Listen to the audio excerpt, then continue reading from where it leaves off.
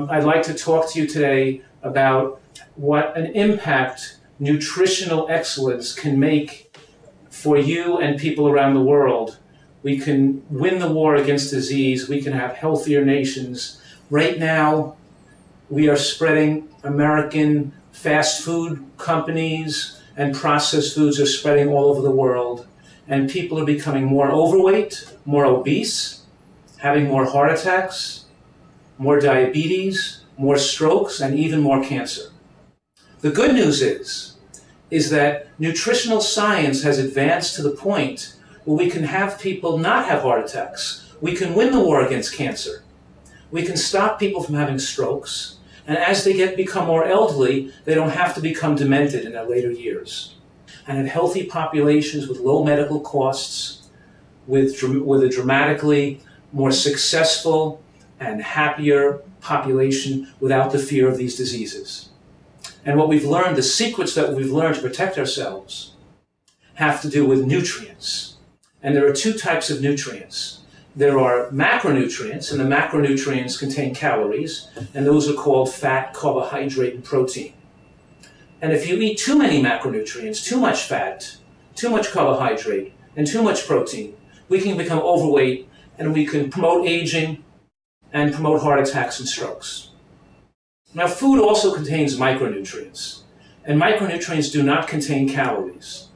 They're things like vitamins and minerals and phytochemicals.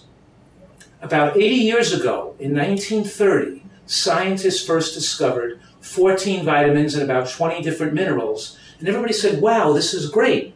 We can help people live longer and help people be much healthier. And what happened between 1935 and 2005 is that heart attack rates went up all over the world, stroke rates went up, and cancer rates went up every single year for 70 years straight.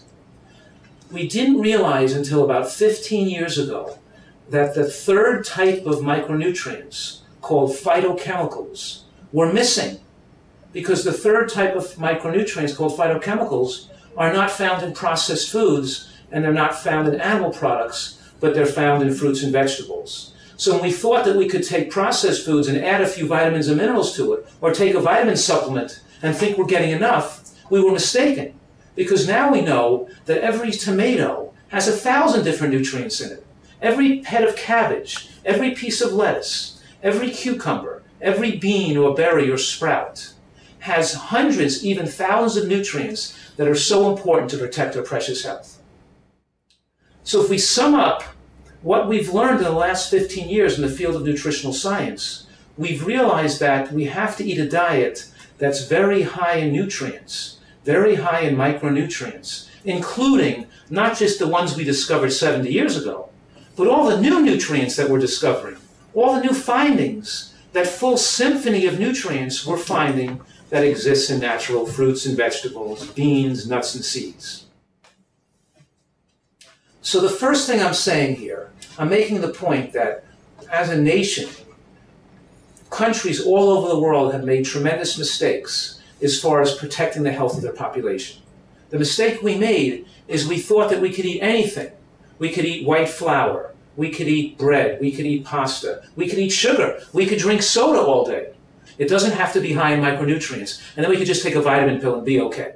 And we found out it doesn't work we actually have to eat real food with, uh, with a climate to grow healthy foods and farmers that grow fresh fruits and vegetables and a, and a homeland that has availability of peppers and tomatoes and cabbage and lettuce and sesame seeds. You have the availability to eat superfoods, and these superfoods could protect us against chronic, degenerative, and dangerous diseases, preventing medical tragedies.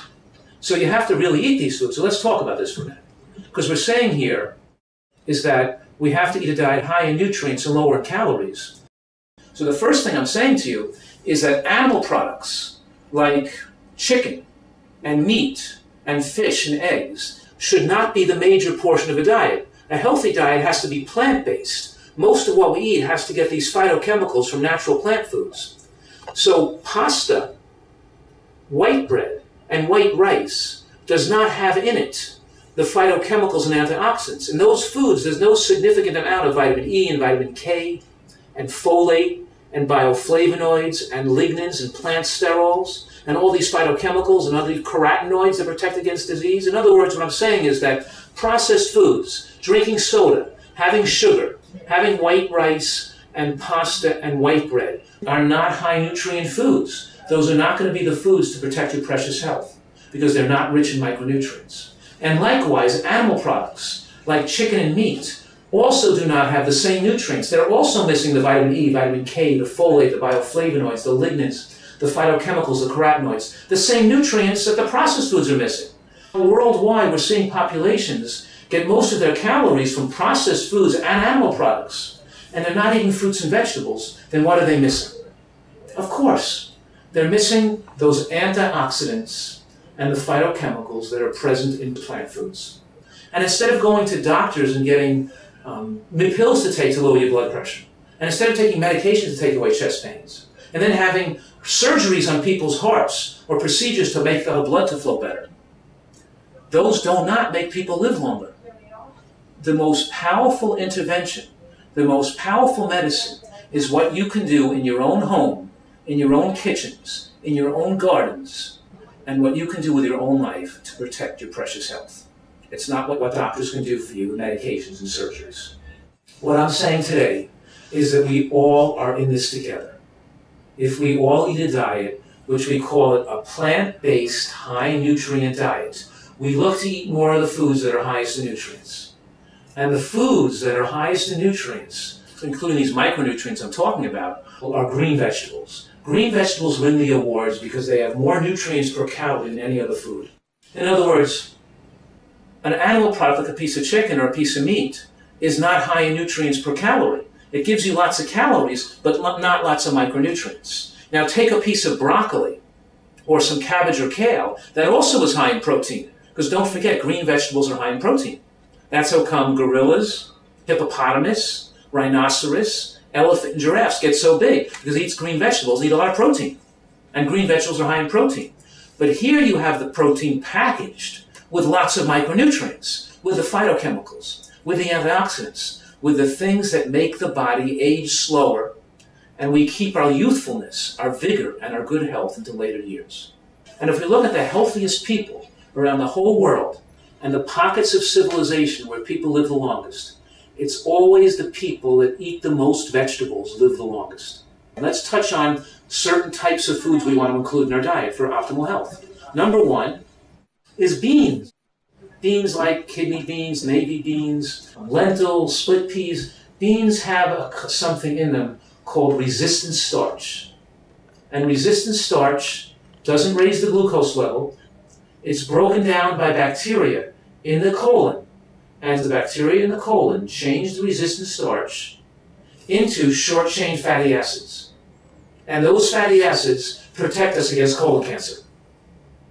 Beans promote weight loss, they give us energy, they're high in protein, and they protect us against cancer, and they're linked in the scientific studies to enhancement of longevity in elderly people.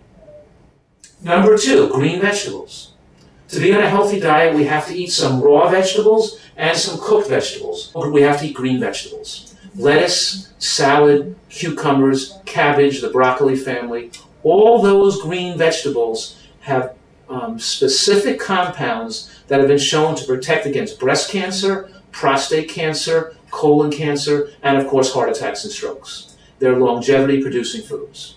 If we mix the greens and the beans now with nuts and seeds, right?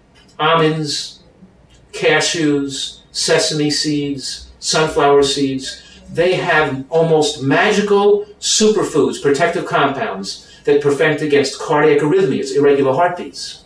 They lower your cholesterol. They make people live longer. They prevent sudden cardiac death. They stabilize the brain. And healthy fats and seeds and nuts increase the absorption of nutrients from the vegetables and the beans. They also make the protein very complete. So it's not about just eating less fat. It's eating about more of the whole food healthy fats from nuts and seeds. Now, nuts and seeds contain a special compound called plant sterols. And these sterols have been shown to lower cholesterol levels and protect against heart attacks. But they also have a dramatic effect to protect against cancer as well. So what I do is we take some sesame seeds, and maybe we'll mix it with an orange, and make a dressing or a dip to put on a salad, right? Or throw some seeds and nuts with some tomato sauce, and we'll make a dressing, we'll make some kind of dressing or sauce. In other words, using nuts and seeds as part of your dressings and dips is a very important part of excellent nutrition. Last, fresh fruit like oranges and berries and kiwis also contains various compounds, phenols and anthocyanins, special compounds that protect against various cancers and are important for good health.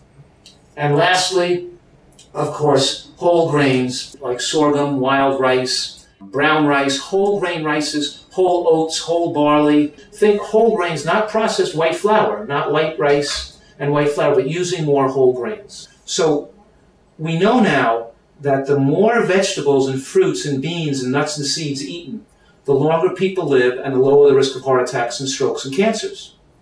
Now, in addition to preventing these chronic diseases later on in life, it also can help people have better function in school, more attention, more alertness, more protection against diseases like, like influenza, like the flu. When we have the right kind of nutrients in our body, we're not going to get sick as often. So we have to appeal to our governors and our government, our educators and our teachers and our farmers. We have to all work together as a team to bring healthy food into the schools, to bring healthy plant foods into our homes. We're not talking about adding a little bit of fruits and vegetables to your present diet. We're talking about making fruits and vegetables the major portion of your diet. And then we'll have a healthy nation, and then we'll have a healthy population to live a long life free of medical tragedies. To conclude, we have a, a unique opportunity in human history. This is a blessing. We have science and information that can enable us to live better and to live healthier and to live longer than ever before in human history. Let's take advantage of your of the natural bounty of the land and have and have one of the healthiest places in the whole world.